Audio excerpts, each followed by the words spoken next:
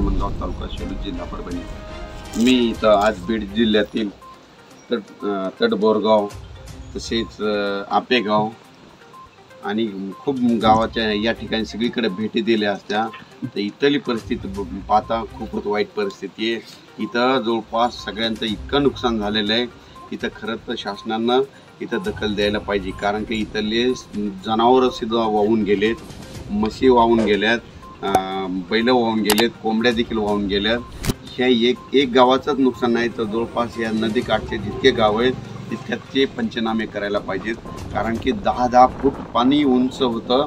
ह्यात इथल्या चित्र परिस्थिती बघता असं दिसून आलंय. म्हणून सगळ्यांनी जवळपास सगळ्यांनी इथं येण्याची गरज आहे. आणि यांना खरं तर आता आधार पाहिजे. कोणात तरी मदतीची गरज आहे यांना. यांनी प्रत्ये इथं प्रशासनाने येऊन मदत देत हात पुढं करावा. माझं तरी एवढं म्हणणं आहे. कारण की मी स्वतः ॲक्च्युअल सगळे दिवसभर इथं परिस्थिती बघितली. खूपच वाईट वाटलं की खरंच खूप अवघड परिस्थिती आहे. म्हणून सगळ्यांनी या गोष्टीकडे दखल देण्याची गरज आहे. सर तुम्ही आत्तापर्यंत हवामानाचा अंदाज एकदम बऱ्यापैकी आणि अचूक पद्धतीने दिलेला नाही.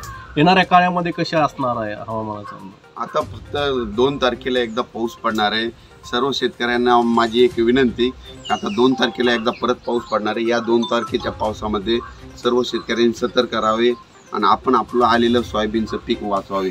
तसेच आता पाऊस आता परतीच्या मार्गावर आहे आणि जवळजवळ आठ नऊ तारखेला पर परतून जाण्याचे चान्सेस आहेत. म्हणून सगळ्यांनी आता आपण आपल्या आलेलं पिकाचं तरी काळजी घ्यावी. कोणत्या एरिया असणार आहे तो? आता जवळपास हा जो पाऊस पडणार आहे संपूर्ण महाराष्ट्रात पडणार आहे. त्यामध्ये लातूर सोलापूर उस्मानाबाद सातारा सांगली पुणे या भागामध्ये जरा जास्त पाऊस पडणार आहे. कोकणपट्टीमध्ये जास्त झुडपून काढणार आहे.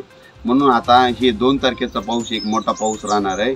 तरी सर्व शेतकऱ्यांनी स्वतःची काळजी घ्यावी. तर मित्रांनो दररोज अशाच प्रकारे हवामान अंदाज मिळवण्यासाठी आपल्या चॅनलला सबस्क्राईब करून बेल आयकॉन नक्की दाबा आणि हवामान अंदाजाच्या व्हॉट्सअप ग्रुपला जॉईन होण्यासाठी डिस्क्रिप्शनमधील पहिल्या लिंकवर अवश्य क्लिक करा.